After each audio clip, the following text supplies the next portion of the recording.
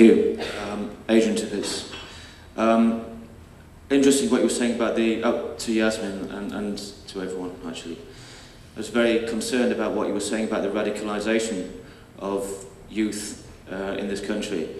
Only three miles from here, I was ripping, I went down to Tower Hamlets to pull, to pull these stickers off the walls on Valence Road, where some fanatic um, put up stickers declaring this to be a gay-free zone. I'm really concerned about the reaction. We do not stand up enough to uh, fanatics.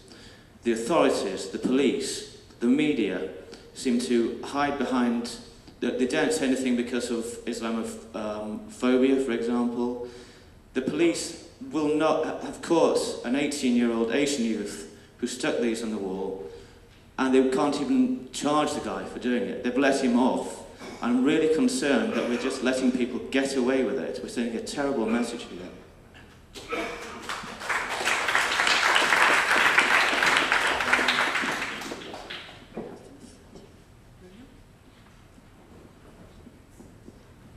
Hello, my name is Olivia Jackson. Um, I'm doing a Master's in Human Rights Law focusing on women and children, taking exams in this very room.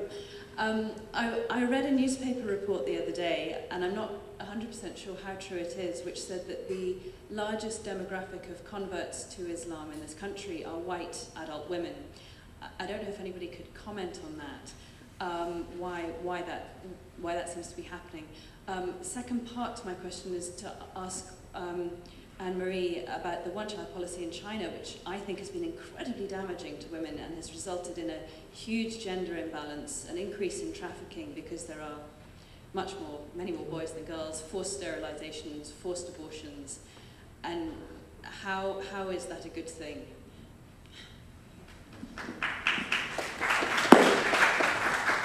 Um, maybe Patty would ask the first question. Um, is that true? You, you live here? That the majority of converts? I'm not sure if it's true. It could be true because I've uh, read similar things um, a couple of times now. Um, I think a lot of uh, Islamists use it because they want to show how great their religion is. Um, and yes, I have seen in some seminars, whatever, I've seen Caucasian women with hijab when people from, I don't know, Asian, Middle Eastern background, women didn't have the hijab. Um, well, they can do that, they're entitled to do that. Um, they probably have their own reasons. I don't know, maybe they feel and they buy into this, that they have this special place, you know, because, um, you know, they had some studies, for example, in the US, um, that um, this thing about that girls, you know, there's this drive about um, not having sex unless you're in a, in a relationship or even married. So um, they said that these girls, they were really keen on, on being like this because they were special, but when everybody was doing it, they were not special anymore. I don't know, maybe it goes a bit in this thing.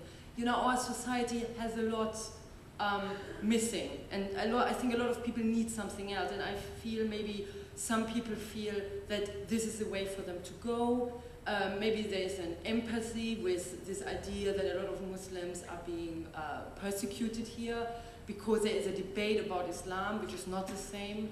Um, so it could be, but I think there are some, yes, there are some Caucasian women that have converted. I'm not sure if they're the biggest group. I'm actually not sure how many there are. Maybe it is the biggest group, but big is not, is all relative, you know, so. Also, it's a proportion so, of, the, of the population. It's a proportion when you look at it. I think it's a proportion. There's more uh, African Hello, uh, I, I don't, uh, uh, I don't, please, can I, uh, did you say it was uh, most or least? Um, the, the, report that I read said that it was the largest demographic who were converting. Um, if, if you look at Adult white women, yeah.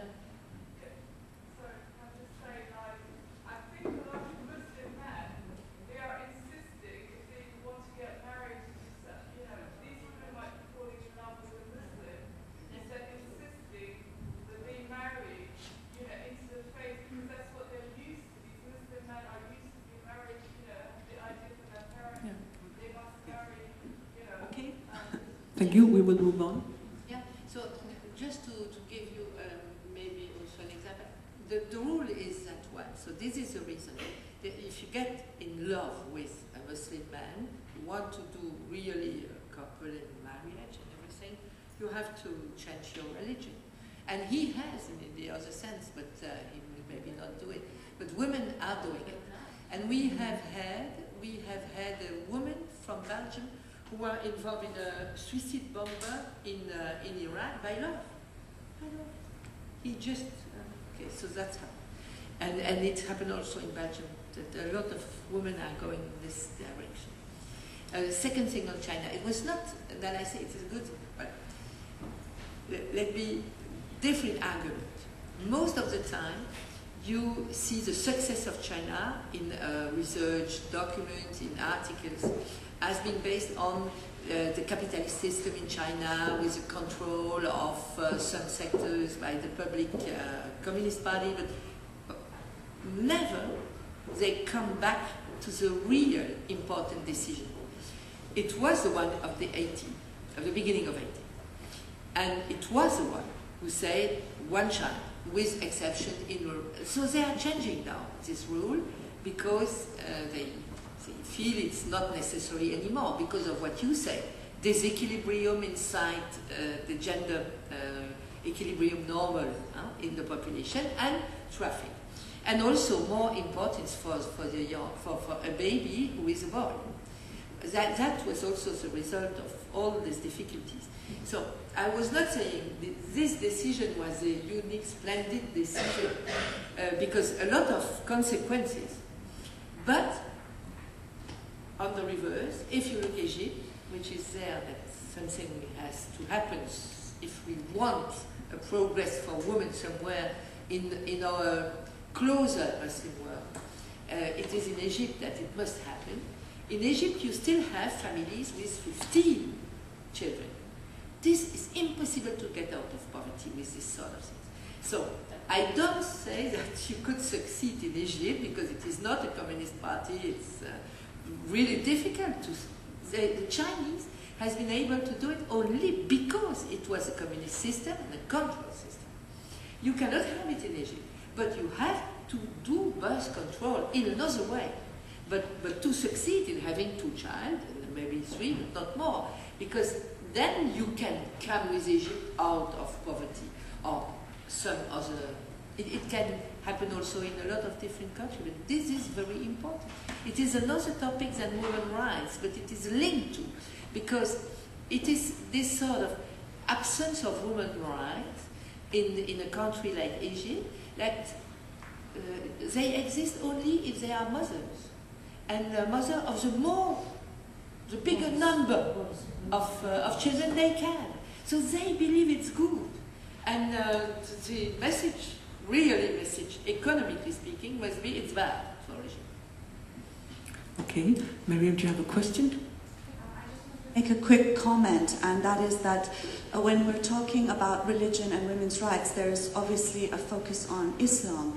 And I think what we need to stress is the fact that we are living under an Islamic Inquisition nowadays we, because of the rise of political Islam, because of the fact that we have Islamic states and Sharia law as part of um, you know, many, many legal systems. It's the fastest growing legal system that's being implemented worldwide.